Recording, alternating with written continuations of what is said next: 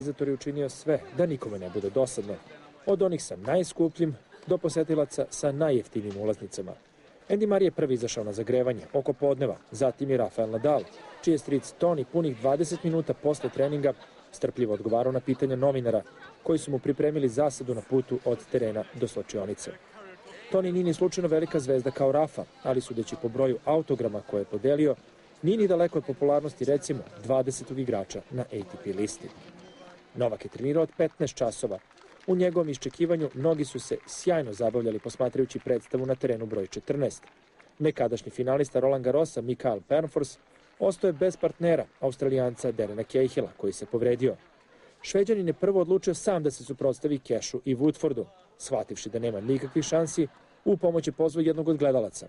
Momak nepoznatog imena definitivno nije bio slučajni prolaznik, već odličan rekreativac. Stekao je velike simpatije prisutnik sa nekoliko sjajnih poteza.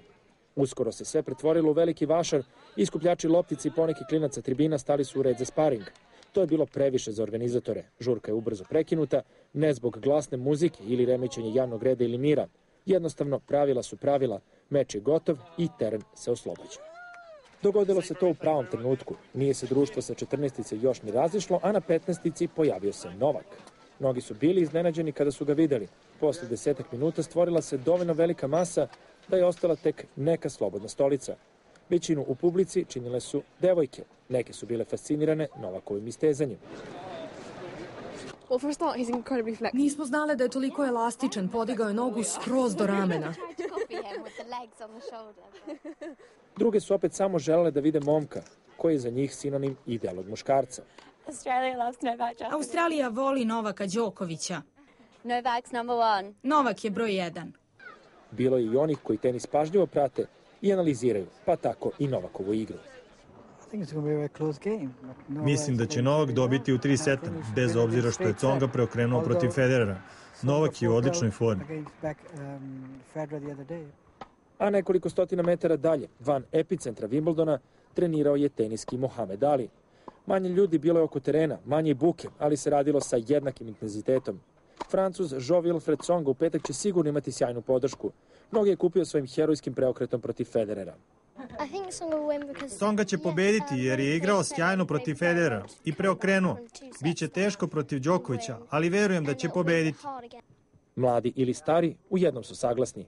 Tsonga ima eksplozivnost i energiju koji su u prošlosti znali da ga sputaju, ali bi protiv Đokovića trebalo da budu njegov veliki adut. Volim kako igra, gledala sam ga protiv Federera i oduševljena sam, bilo je sjajno. Mislim da svojom igrom može da pobedi, znam da je Novak najbolji teniser u ovom trenutku. I opet brzo do terena 15. Nola je prešao na rad sa lopticom. Na suprotnoj strani je brat Marko. Sparing se pretvorio u dobar meč, publika uživa. Neizbežna su bratska peckanja, out ili ne, koji je u pravu. Nije prošlo mnogo i cela familija bila je na okupu. Novakovi roditelji kao i najmlađi brat stigli su da mu pruže podršku u trećem pokušaju da stigne do finala Wimbledona, kao i u drugom da postane prvi teniser sveta. Sve se završilo uz neizbežno fotografisanje, davanje autograma, razgovor sa predstavnicima medija. Na putu ka slačionici Stampedo. Novak je velika zvezda, ništa manje od onih koji su godinama vladale svetskim tenisom, a čiju bi krunu trebalo da preuzme već u petak. Novakov radni dan tu se ne završava. Analiza protivnika će tek uslediti. Novakov trener Marijan Vajda nije delovao zabrinuto.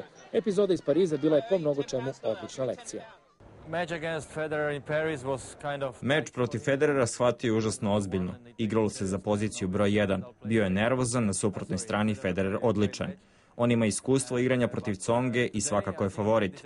On mora tako i da se ponaša i preuzme ulogu favorita. Novak igra fantastično i najvažnije od svega je da bude opušten, ali i agresivan, da bude taj koji će diktirati ritam tokom meča. Mislim da je to ključ uspeha da bi pobedio i postao broj 1. I Nenad Zimonjić je optimista i veruje da je ovo istorijska šansa koja bi trebalo da se iskoristi. A veli, veliki meč za, za Novaka, za svetski tenis, za srpski tenis. E, mnogo donosi ta pobjeda na, nad Joeom. Znači prvi put plasman u finale, e, definitivno broj 1 na svetu posle, posle Wimbledona. E, naravno da ćemo biti svi uz Novaka i da mu želimo sve najbolje. E, ja se nadam da će on uspeti da podigne još svoj nivo igre i da odigra kako može, a videli smo ove godine da ne postoji protivnik koga ne može da savlada, bez obzira e, na koje se podloze igra, tako da E, nadam se samo da nećemo igrati u isto vreme, pa e, voleo bih da, da mogu da gledam taj meč. Petak 14 sati, Novak Đoković, Jovi Alfred Songa. Novak igra za ispunjenje dečačkih snova, ali i ulazak u istoriju.